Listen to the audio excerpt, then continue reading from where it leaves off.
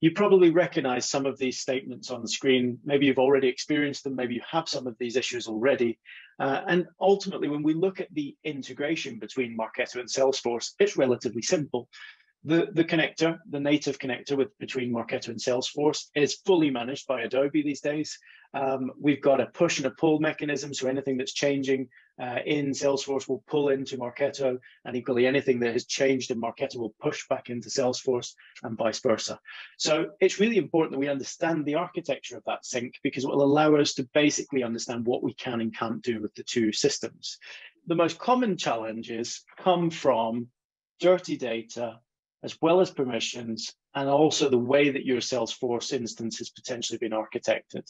Now, I'm not going to say that that doesn't mean that you can't, yeah, or that means that you can't use the data. It just means we might have to think about it in a slightly different way.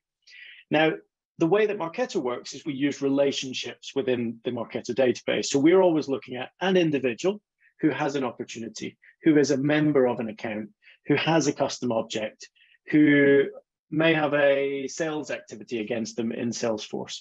Again, all that information is all attached to that one individual person.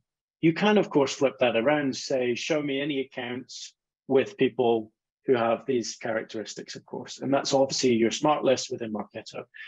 Now, because we rely on that relationship in order to especially send email, we can only really use the information in Salesforce that is linked to an individual. So if you have a custom object, for example, and it is a custom object related to an opportunity, let's take an example of an insurance company, and maybe they're using a policy object, which is attached to an opportunity, which is the numerical value, then unless that policy has an individual associated to it, within Marketo, we can't do very much with it.